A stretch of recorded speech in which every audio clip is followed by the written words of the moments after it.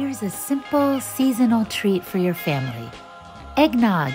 Okay, true confessions. I used to hate eggnog. I think it's because I only ever tried the store bought kind. The homemade, real deal is amazing. You start with two cups of raw milk, add a cup of cream, four egg yolks, some maple syrup, just a quarter to a third of a cup, two dashes of nutmeg, a splash of vanilla, a pinch of cinnamon, and a pinch of salt.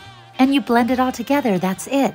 Serve it with a little sprinkle of cinnamon on top or some extra whipped cream and nutmeg and enjoy. As a matter of fact, enjoy it before everybody else does.